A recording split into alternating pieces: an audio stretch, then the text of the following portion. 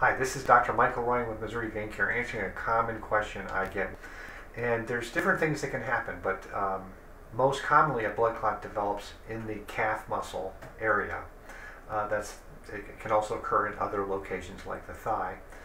But when people have a DVT or blood clot, that blood clot can either stay put and just become a, a hardened area of, uh, inside the vein in the in the deeper tissues, or it can um, also extend, which means the, the clot grows inside the vein, traveling up the leg, uh, or most most worrisome, it can break off and travel up to the lungs, and that can cause a, what's called a PE or pulmonary embolism, a blood clot in the lungs, which can cause death. That can be a very serious condition, which is why when doctors are concerned about a blood clot, they always check an ultrasound in your leg and they want to make sure that they're not, not missing that diagnosis.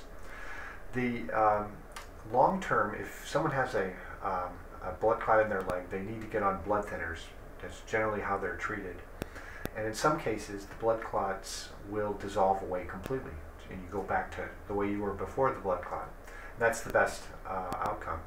But many times the blood clot, um, when it dissolves, it has damaged and destroyed the little valves, the very frail, tiny valves inside the vein. So those valves don't work, and you get what's called vein reflux, which is a condition where the blood flows backwards down into your leg under very high pressure, causing a lot of discomfort and swelling. Uh, that is called uh, post-thrombotic syndrome. That's the medical word for after the blood clot goes away and the vein isn't working normally.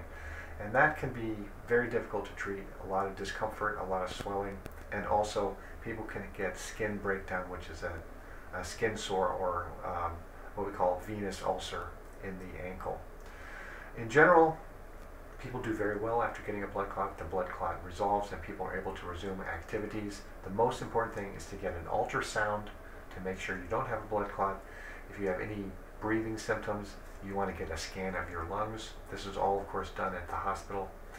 And uh, if you have a blood clot, you'll likely be on blood thinners for at least a couple months. So this is Dr. Michael Ryan with Missouri Vein Care.